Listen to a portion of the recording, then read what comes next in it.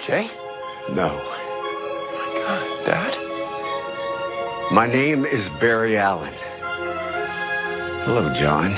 Do, do I know you? You're not wearing your ring. Things must be different here. Barry, where's there? My Earth. Earth 90. I've traveled from there to warn you. Warn us about what? His name is Mar Novu, but he calls himself the Monitor now. He's been unleashing the Book of Destiny across the multiverse to test different Earths. Test them for what? A crisis that he believes is coming. Novu thinks the Elseworlds created by the Book of Destiny approximates the collision of realities that we're facing. Guys, we got a situation. Cisco. That.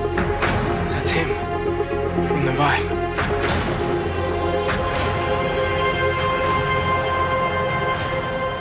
Mar Novu! You're gonna stand down.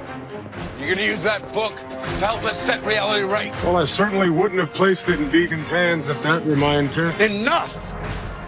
You will not do to this earth what you did to mine. I admire your persistence, Barry.